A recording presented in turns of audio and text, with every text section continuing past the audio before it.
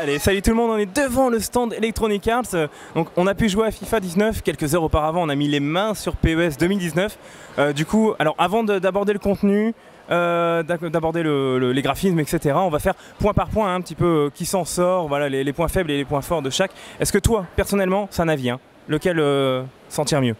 Alors moi, je te dirais que c'est PES 2019, mmh. euh, parce que déjà en termes de gameplay, bah, ça reprend euh, les mêmes mécaniques euh, que bah, le précédent volet, c'est-à-dire que en termes de construction de jeu, c'est toujours un vrai plaisir. Ils ont amélioré la, crédibilité de la physique de balle, qui était vraiment déjà exceptionnelle dans le 2018. en plus de ça, les gardiens, bon, bah, c'est toujours une bombe atomique, c'est-à-dire que vraiment les, gardiens ils font d'assez beaux, arrêts. Euh, L'IA est euh, beaucoup moins euh, cheatée je trouve en mode superstar. Donc du coup ça fait que forcément on se prend moins de buts un petit peu punitifs. Alors c'est vrai que des fois l'IA est un peu punitive parce qu'elle peut exploiter tes, failles un petit peu. Mais finalement en soi, le gameplay est solide. Après, bon, son défaut, c'est son contenu à PES. Parce que le problème, c'est qu'on retrouve la même chose. Donc, le mode My Club, le mode justement Ligue des Masters. On, a le mode, coup d'envoi également, mais c'est un peu tout ce qu'on fera finalement euh, sur, euh, sur PES. Et c'est dommage. Alors ce qui est assez drôle, c'est qu'on lui demande un, rapide avis, il s'est déjà enjaillé, il a déjà parlé du contenu, du gameplay, etc. c'est génial. Alors on va revenir point par point. Non, le, vainqueur, le grand vainqueur ne sera pas forcément PES 2019. en termes d'efforts, en termes d'efforts, clairement, de toute façon, on le sait, ça fait plusieurs années hein, maintenant que Konami, ils rentrent dedans après avoir euh, eu leur descente aux enfers, là où hein, ils étaient ah au plus bas et où FIFA bah, excellait.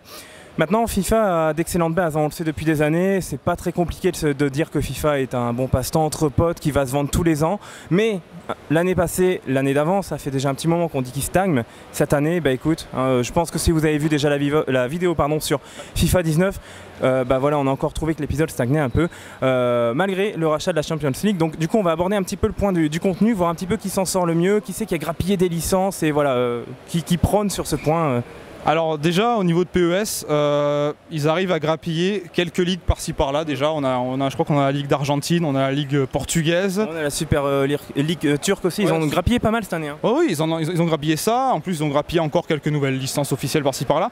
Alors après, c'est vrai qu'on va me dire peut-être dans les commentaires, bon, on peut le faire par clé, par clé USB pour justement tout refaire. Mais après, il faut, il faut savoir que ça, on le sait déjà, mais c'est juste que la plupart des joueurs ont la flemme de le faire et que du coup, oui, il y en a qui ne le savent pas ou qui n'ont pas envie de le faire, ou qui ne le savent pas ou qui n'ont pas envie de le faire tout simplement. Donc voilà, au niveau des licences, c'est vrai que là FIFA sera supérieur très clairement. Après en termes de mode de jeu, FIFA le sera aussi parce que cette année ils ont rajouté plusieurs modes de jeu sur le mode coup d'envoi. Ils ont rajouté, on a encore le mode carrière, Alex Center, euh, FIFA Ultimate Team. Donc ça fait déjà beaucoup quand tu compares justement à PES 2019. Il faut dire que FIFA 19 avait déjà une très très longue avance. Alors c'est vrai que chaque année PES grappille, grappille. Alors moi je tiens à faire une petite parenthèse, je trouve que PES 2019, je pense que c'est la première fois qu'ils ont autant de licences. Cette année ils ont vraiment fait beaucoup d'efforts. Alors ils en ont perdu deux, hein, ah, ils ont perdu, euh, ils ont perdu l'UEFA Champions League, euh, ils ont perdu l'Europa League forcément, donc euh, ça fait ça fait mal. Hein. ça fait mal parce que c'était quand même des, quasiment des licences qui faisaient vendre. Il y en a qui achetaient. ça fait 10 ans maintenant que sur la jaquette du jeu on voit les logos officiels dessus. C'est une grosse grosse perte pour PES quand même. Hein. Et c'est peut-être pour ça que justement certains certains joueurs de PES étaient là-dessus parce que tu avais l'Europa League, la Champions League. Donc du coup ça te faisait toujours plaisir de, faire une petite ligue des masters. Après qu'on se dise sur sur la ligue des masters ils ont vraiment fait des efforts. Hein. Euh, l'année dernière, en termes de, transfert, tout ça, ils ont rajouté quelques petits trucs. Bon, FIFA aussi, forcément. Mais euh, on pouvait faire des négociations en direct. Tu avais des petites cinématiques, tout ça, qui, qui s'enclenchaient. Même avant des, gros matchs, par exemple, quand tu avais des gros derbies, euh, par exemple, je peux te dire un truc sur, le. Par contre, quand tu jouais sur, avec l'OM sur avec des Masters, par exemple, tu avais, quand tu avais OM Lyon, OM PSG, tout ça, tu avais toujours des petites cinématiques pour, où tu avais l'entraîneur qui, qui encourageait ses joueurs et tout. Voilà. Donc donc toujours des petits détails qui faisaient la différence. Même après, bon, le problème c'est que ouais, il n'y a plus la Champions League, il n'y a plus l'Europa League, ça va peut-être un peu compliqué pour PES euh, de garder des joueurs peut-être. Oui. Alors, t'éloignes pas trop, après on va plus te voir, tu seras hors cadre. et du coup, euh, oui, donc niveau contenu, de toute manière, enfin, on le sait, hein, FIFA est devant depuis très longtemps, mais euh, ça fait plaisir que PS grappille des licences. Bon, malgré, si on met de côté la perte de, de l'Europa League et de la Champions League, qui sont des très grosses pertes, qui peuvent même un argument de vente en moins. Mais euh, voilà, euh, comme on l'a dit, a Super League Turc, etc. Ils ont vraiment grappillé énormément de choses, des partenariats, euh, des stades, etc. Ils ont vraiment eu beaucoup de choses cette année. C'est la première fois qu'ils en ont autant. Après, à voir si ce sera suffisant, hein, bien évidemment. Mais voilà, bon, niveau contenu, FIFA est loin devant. En plus, ils ont le mode aventure qui est quand même bien poussé. tu veux peut-être nous faire une petite, une rapide parenthèse parce qu'on en a parlé dans la vidéo de FIFA. tu veux peut-être nous faire une petite parenthèse sur ça? Sur, quoi Sur le mode aventure du code Alex Sur le, mode aventure d'Alex Ah oui, justement, oui. Bah, au niveau du mode aventure d'Alex on retrouve quasiment les mêmes mécaniques. Mm. Donc tu as le système d'interview euh, où tu peux justement, tu as, trois choix de dialogue. Euh, soit tu es euh, arrogant, mm. soit tu es un peu, un peu froid, c'est-à-dire tu réponds avec humilité, je veux dire. Et, ou alors tu, as le, tu réponds en mode neutre, en fait, tout simplement. Et après, ça va augmenter ta réputation ou pas. Enfin, ça dépend. Ça va augmenter soit tes, tes follow, soit ta réputation. Je sais plus exactement comment ça marche. Mais ça, ça, t'augmente quelque chose, en gros. Ça t'augmente de la réputation. Ensuite, euh, tu as donc euh, les petits mini-jeux que tu peux faire avant les matchs, ça c'est plutôt sympa. Tu en as de nouveaux qui sont arrivés sur la démo, donc euh, quand, quand on a testé. Et ensuite, tu as pour terminer donc les matchs classiques avec des fois des petits matchs scénarisés où tu vas avoir des fois Alex qui sera titulaire, des fois il ne le sera pas. Tu auras des cutscenes un peu avec le, moteur Frostbat Engine. Et puis voilà, après en soi ça, reste sur des bases solides. Après le problème c'est que ça stagne un petit peu. Voilà. Après, bien sûr, on n'a pas encore les versions finales, donc on ne peut pas encore vraiment savoir, même niveau PvS, il y a des, des modes que tu aimerais bien avoir un petit peu plus, non? Bah oui, j'aimerais qu'il y ait un peu plus de modes. Et justement, euh, ce serait bien qu'ils sortent pourquoi pas un mode scénarisé à la, FIFA. Donc, je voulais dire par là qu'il y avait des modes qui, qui, comme tous les ans, hein, qui sont sur PBS, mais qu'on n'a pas encore eu l'occasion de voir aussi forcément. Oui, non, mais on a pas mal de modes. Euh, mais tu parles desquels de modes? Tu parles de...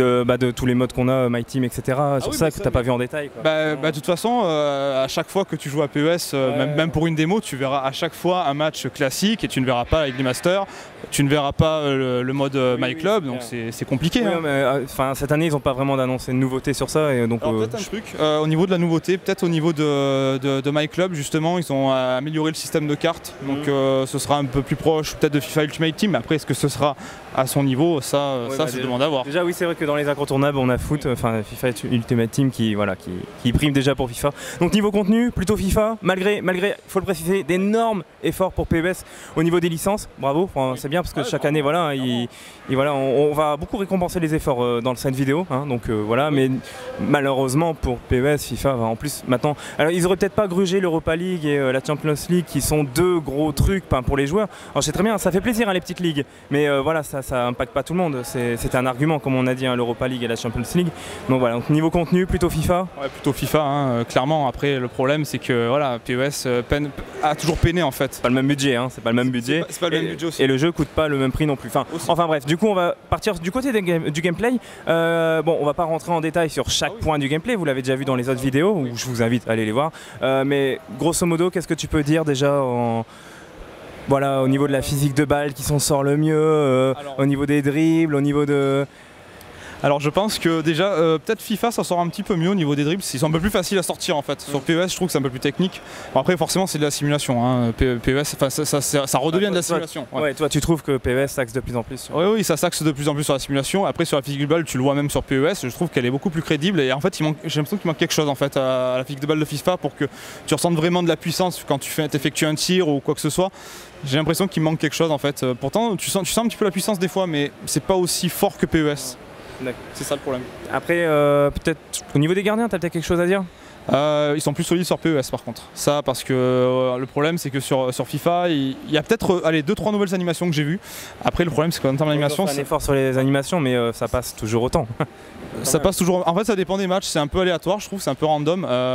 Il y a des, enfin, quand, je jouais contre l'intelligence artificielle en légende du moins, il y a des fois je me prenais des, frappes de, de 25 mètres, le gardien pouvait absolument rien faire. C'est des boulets de canon, alors que même sur PES, tu fais ce genre de frappe. Euh, ça passe pas. Et en plus, je trouve que même euh, au niveau de PES, le système de jauge de fatigue, euh, elle est beaucoup plus poussée sur PES que sur FIFA. Surtout que cette année, je pense que tu l'as remarqué, Konami l'avait annoncé, ils ont fait un gros effort sur la fatigue, ça se ressent à travers les matchs. voilà. Sur les matchs de, FIFA, tu ne ressens pas que les joueurs sont fatigués, même à la 87e minute ou à la 90e. Donc là, un petit peu hein, pour le sprint, mais c'est tout. Mais, c'est tout. Hein. Tu, peux faire, tu peux faire exactement les mêmes frappes, alors que par exemple, je te donne un exemple avec Bernardo Silva qui joue à Manchester City tu peux faire une frappe avec lui alors qu'il a, couru euh, quasiment tout le match. Il va faire des frappes assez mollassonnes et le gardien ne pourra pas euh, notamment euh, choper le ballon. Quoi. Bah, le truc, c'est que euh, enfin, FIFA garde ses très bonnes bases sur le gameplay, mais euh, enfin, on va le redire en conclusion, c'est qu'il se repose énormément sur ses lauriers. On sait très bien que FIFA, depuis, enfin, je vais pas dire depuis, mais ces quelques dernières années ont été souvent devant les, jeux FIFA. Euh, l'écart se resserre, les taux depuis plusieurs années, et là, encore une fois, PES a fait beaucoup d'efforts et en termes de gameplay, bah, on ressent, en fait, de chaque épisode, on ressent les avancées que du côté de FIFA, bah, c'est comme la fatigue cette année. Bah, euh, bah, je un effort. Ils sont un peu fatigués, hein, voilà. Quand, comme je te l'ai dit, c'est le mot. voilà, comme je, comme je te l'ai dit, comme je dis, quand tu vois un Bernardo Silva sur PES qui, euh, qui commence à fatiguer, qui fait une frappe sonne et que le gardien arrête sans problème, euh, voilà, c'est. Je veux dire, c'est pour te dire à quel point il devrait euh, plutôt améliorer ça, euh, Electronic Arts. Alors, peut-être au niveau des passes et de la construction du jeu, tu as peut-être quelque chose à dire euh, Il y a beaucoup plus de plaisir sur PES 2019 parce qu'en fait. Plus grisant Ouais, c'est plus grisant. Et puis en plus de ça, j'ai l'impression que sur FIFA, en fait, tu peux prendre, comme je l'avais dit dans ma précédente vidéo, tu peux prendre une petite équipe ou tu peux prendre une grosse équipe. Euh, tu vas pouvoir toujours ressortir quand tu auras le ballon au pied, euh, le ballon euh, un peu trop propre. C'est moins poussé, t'as l'impression Bah oui, après, bon, c'est vrai que dans les, dans les paramètres, tu peux toujours modifier, mettre le ballon en manuel, tout ça, mais sur les paramètres par défaut, j'entends bien, que ce soit sur PES ou sur FIFA, sur PES, ce sera toujours beaucoup un peu plus imprécis. Parce que par exemple, si tu vas faire une passe, t'es pas certain que tu vas, la, tu vas la passer au bon joueur, et donc du coup, il y a un adversaire qui va arriver, tu vois, pour la prendre direct. Donc de ce côté-là, les passes, je trouve que sur FIFA, ça manque de, manuel en fait. D'accord. ça, ça paramètre par défaut du moins, hein, je, voulais préciser au cas où. Oui, quand même. Oui, donc euh, impression plus mitigée pour FIFA, j'ai l'impression. T'as autre chose à dire sur la partie du gameplay? Bah, Je pense que c'est à peu près tout. Hein. Euh, ah, bah, par contre, après l'arbitrage, je peux pas encore juger parce que je fais que, quelques matchs et du coup, quand tu es à la Gamescom, tu peux pas faire non plus 45 matchs. Tu as eu l'occasion de jouer peut-être un peu plus en profondeur à PES puisque e on est allé chez Konami, on a eu la démo. Euh, du coup, voilà, on a, on a, pu en voir un petit peu plus. Attention, ça ne veut pas dire qu'on va pencher du côté de ah PES ou de FIFA. Pour ça, bien évidemment, on a eu largement le temps de jouer sur FIFA. Hein. ça, il n'y a, pas de problème. C'est juste que l'arbitrage, on peut plus juger de côté PES. Donc euh, là, on va pas. Voilà, on là, il faut vraiment plus de longueur pour le coup. Donc. Euh, j'ai pu jouer un peu plus longuement, c'est sûr. Après, voilà, c'est sûr qu'il faudra jouer toujours un peu plus encore pour voir euh, si t'as pas vu certains trucs. Après, le, ouais, quand tu fais des, grosses fautes, c'est sûr que l'arbitre va être là. Euh, parfois, ouais, sur les petites fautes, je trouvais que ça va. Ouais, l'arbitre était assez, euh, était assez correct dans l'ensemble. Après, j'entends en avoir encore plus, évidemment, mais dans l'ensemble, ça allait. J'ai pas non plus râlé systématiquement auprès de l'arbitre pour lui dire le carton, c'est pour quand ou c'est quand qu'il va y avoir un péno. Donc voilà, de ce côté-là, j'ai pas grand-chose à lui reprocher. Donc, On parle d'arbitre, je fais une parenthèse ce qui n'a pas de rapport avec le comparatif. Mais ce qui est cool, c'est que dans FIFA 19, il y aura un nouveau mode euh, euh, sans les règles. Ah ça, ça, ça, c'est quand même cool. Enfin, va pouvoir s'éclater. Ah, mais ça, c'est énorme parce que du coup, tu vas pouvoir. Des tacles assassins. Euh, ouais, des tacles assassins. Alors après, je sais pas qu'est-ce que tu vas pouvoir changer en termes de règles par contre? Je sais pas si ça, on a, malheureusement pas vu. Ouais, il me semble que je sais pas si tu pourras enlever l'arbitre. je, sais, pas si tu pourras. Ouais, je pense que tu pourras. Petit ajout sympa quand même. Alors, en termes de gameplay, PES s'en sort mieux selon toi. Par contre, tu as peut-être pas parlé assez du côté de FIFA, l'amélioration au niveau de la physique de balle. Euh, ils, l'ont, en ont parlé hein, dans les messages promotionnels, etc., qu'ils avaient fait quelques, enfin, soi-disant des avancées. Je sais pas ce que tu en penses, toi, de, sur la physique de balle de FIFA? Notamment, oui.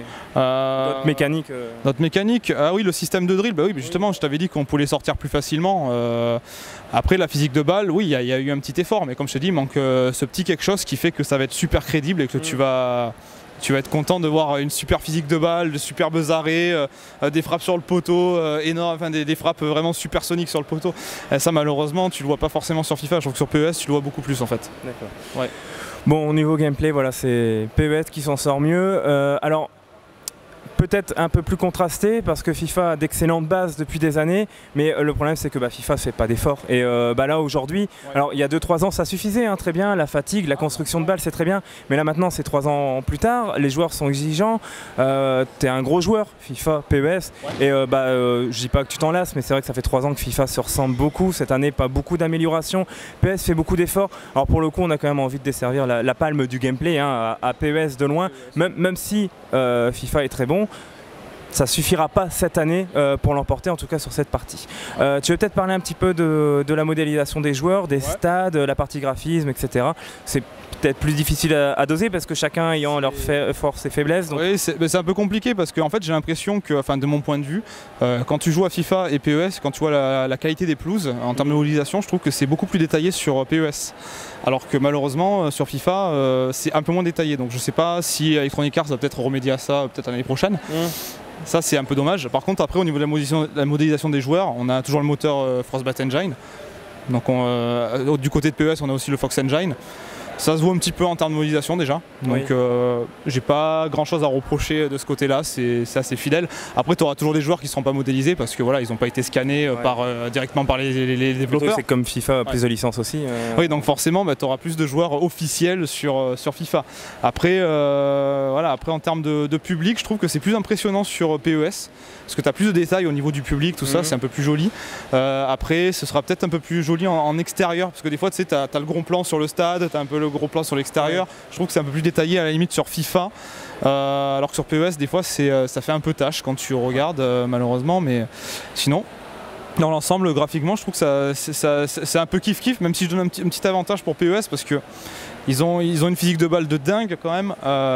ils ont une pelouse qui est bien modélisée ils ont pas mal, pas mal d'effets sympas, quoi. Même au niveau du public, je trouve que c'est mieux modélisé sur, euh, sur PE. L'ambiance des stades, peut-être quelque chose. Le FIFA frappe fort. Hein. Euh, ouais, mais après, c'est normal. C'est normal, ils, ont les, ils, ont les, ils ont les chants des supporters officiels. Euh, même, même quand tu prends l'OM ou que tu prends d'autres équipes, tu as toujours le, ça en fond. Alors que tu n'as pas forcément ça sur PES. Ça, c'est sûr que de ce côté-là, ouais, c'est kiff kiff en fait. Sound, hein. sound, design, pardon, ce sera plus FIFA pour le coup. Ce sera plus FIFA, oui, largement. difficile. Euh, bon, les commentateurs, c'est toujours pas. Euh, ça, c'est toujours la même chose. Tu auras Hervé Matou, Pierre Ménès côté FIFA et côté PES, tu auras Darren Tulette et euh, Grégoire Margoton. donc, voilà. mais voilà, il n'y a pas photo, ce sera mieux sur FIFA. Y a, Même si c'est un peu abusé. mais L'ergonomie des menus, je pense que tu n'as pas vu en entier, tu n'as pas pu voir assez. ça, on en reparlera hein, lors des tests finaux des PES et FIFA, chacun de leur côté. Bon voilà, du coup bilan plus mitigé pour les graphismes et euh, de manière générale, euh, voilà la partie technique. Euh, de toute façon les démos tournaient bien. Enfin, en même temps les démos ils vont toujours présenter quelque chose qui tourne bien, hein, donc on va pas trop se prononcer pour le coup. Est-ce que tu as quelque chose à rajouter sur ce comparatif avant qu'on passe à la, conclusion? Bah écoute, pas grand chose, non non, bah, je pense qu'on a vraiment tout dit hein, en au niveau de toutes les mécaniques, tout ce qu'on a vu à la Gamescom, oui. on a tout vu. Hein. Alors tant que j'y pense tout de suite, bien évidemment c'est un comparatif, il y a aussi notre avis qui rentre un petit peu en jeu, on essaye d'être objectif voir les plus et les moins. Euh, mais voilà, n'hésitez pas à débattre dans les commentaires, à dire ce que vous en pensez, mais restez respectueux, bien évidemment, on a tous euh, notre avis différent. Euh, je peux comprendre qu'il y a des joueurs qui sont complètement accro à FIFA et d'autres ah à PBS. Voilà, alors. Mais cette année, il faut avouer de façon totalement objective que bah voilà FIFA traîne trop sur leur laurier. Alors bien sûr ils ont un bon gameplay, c'est fun entre potes, c'est toujours le, le rendez-vous. D'un côté PES ça fait quand même 2-3 ans qui cravache. Donc en conclusion, je pense qu'il n'y a pas photo, il faut féliciter les efforts, quoi, clairement. Oui, je félicite PES hein, pour le coup, parce qu'ils ont vraiment fait quelque chose de, très bien cette année. Euh, déjà l'année dernière, c'était vraiment pas trop mal, c'était vraiment très bien même, c'était ce qu'ils ont fait en termes de physique de balle, de gameplay. Alors c'est vrai qu'ils pêchent, encore sur, euh, sur quelques petits détails tu vois, au niveau du gameplay, mais bon, c'est vraiment que minime, euh, même au niveau du contenu aussi. Mais bon, ils ont fait beaucoup d'efforts, donc je leur décerne euh, la palme, euh, la palme du gagnant, tu vois, on va dire ça comme ça, euh, pour PES, parce qu'ils ont fait vraiment beaucoup d'efforts et FIFA traîne trop cette année. Ils sont vraiment en pleine stagnation en termes de gameplay.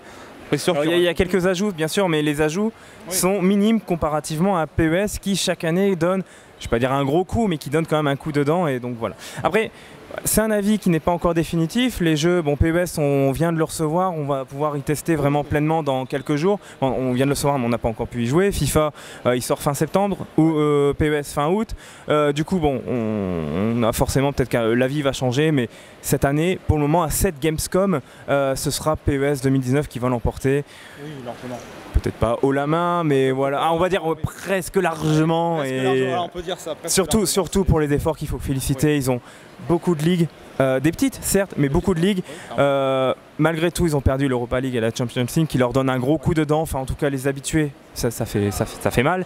Euh, mais bon, voilà, ils compensent largement. Enfin, ils vont pas juste compenser, ils compensent vraiment largement par rapport à toutes les licences qui sont annoncées depuis plusieurs semaines les, tous les jours, j'ai l'impression qu'ils disent Ah, on a, on a eu ça, on a eu les droits de ça, on a cette ligue-là qui est intégrée, etc. Donc là, euh, chapeau. Et en termes de gameplay, il y a quand même pas mal d'avancées. Il y a une stagnation du côté de, FIFA. Un dernier mot de la fin? Euh, bah, J'ai justement hâte de, tester vraiment les deux dans leur version et voir vraiment euh, lequel méritera le mieux la meilleure simulation de, cette année le match s'annonce très serré. Je sais que depuis plusieurs années, on le dit, que l'écart se resserre. Euh, FIFA était tellement devant, et ça se comprend hein, vu la PES comment était bas. Euh, bon, c'est pas méchant, mais euh, voilà, PES ils avaient vraiment du mal pendant un moment. là, voilà, déjà l'année dernière, les avis étaient très contrastés, même au niveau des fans. Hein, tout le monde le disait que l'écart était très serré cette année. je crois qu'il y avait même un champion du monde de FIFA qui avait. Qui ah, Oui, oui, qui avait un nick cette année. PES avait frappé. qu'il avait, qu'il avait je crois qu'il avait dit qu'il avait, avait, pas envie de jouer à un jeu qui, soit du ping-pong passing, c'est-à-dire dans la mesure où en gros. Tu... Là, j'avais pas entendu ça, mais c'est oui, mais c'était sur son Twitter, je crois. Oui, oui, il avait dit un, je veux pas jouer à un jeu de ping-pong, un truc comme ça. Je, me souviens plus de je me souviens plus du prénom du champion du monde, mais c'était un des champions du monde de FIFA qui avait euh, dit ça et que on n'aura pas un avis aussi tranché parce qu'on trouve quand même que le, voilà, le, bilan est assez mitigé. Euh, c'est dur de savoir qui peut vraiment s'en sortir, mais au vu des efforts, bah voilà, euh, PES largement devant. Et on se dit que si cette année, euh, bah, une fois que la sortie finale, voilà, on, pourra vraiment voir tout le contenu, bon, bah, on pourra dire sans mal que PES sera peut-être le grand vainqueur. Et puis bah, du coup, l'année prochaine, il serait vraiment temps que Electronic Arts se bouge un peu, pour pas dire autre chose. Ça fait 2-3 années qu'on leur reproche, on a beau leur dire, hein, les joueurs et la presse, hein, je crois qu'on on est tous plus ou moins unanimes sur ça. Donc maintenant on verra bien. Hein, donc euh, voilà. Donc euh, PES sort le 28, le 30 août. Euh, PC, PS4, Xbox One. FIFA le 27, j'essaie d'avoir une bonne mémoire. Là, on est 3 jours de Gamescom, c'est un petit peu dur. Oui, oui, mais je crois que c'est à peu près dans ces eaux-là. De toute façon, euh, c'est toujours PES qui en avance euh, sur la date de sortie. Démo de PES disponible, celle de FIFA arrive très bientôt. Euh, bah voilà, je pense que. On a fait le tour, hein, clairement. Dites-nous dans les commentaires si vous êtes d'accord avec nous. Qu'est-ce que vous pensez de notre avis? On peut être aussi pas du tout d'accord et ça me ferait très plaisir de débattre avec vous. Bon, dans le respect, bien évidemment, on compte sur vous hein, pour le coup. voilà, donc n'hésitez pas à dire ce que vous en pensez, ce que vous avez pensé aussi de l'année passée? Tant qu'à faire, on est là aussi pour faire un petit bilan de PES 2018 et FIFA 18, que je fasse pas l'erreur. Donc voilà, et puis on se donne rendez-vous très prochainement pour les tests complets des jeux. Donc PES devrait pas trop tarder sur la chaîne, FIFA un petit peu plus tard. Et puis euh, voilà, nous on continue notre petit tour de la Gamescom. On a encore quelques petits trucs à voir. oui, surtout qu'on voilà, on va avoir plein de jeux. Et puis bon, on a, on a, on a hâte de voir vos avis sur euh, le comparatif PES 2019 et FIFA 19. Exactement, allez. Sur ce, je vous souhaite, euh, bah, je vous souhaite de bien vous éclater et puis à très bientôt pour de nouvelles vidéos. Allez, ciao tout le monde. Salut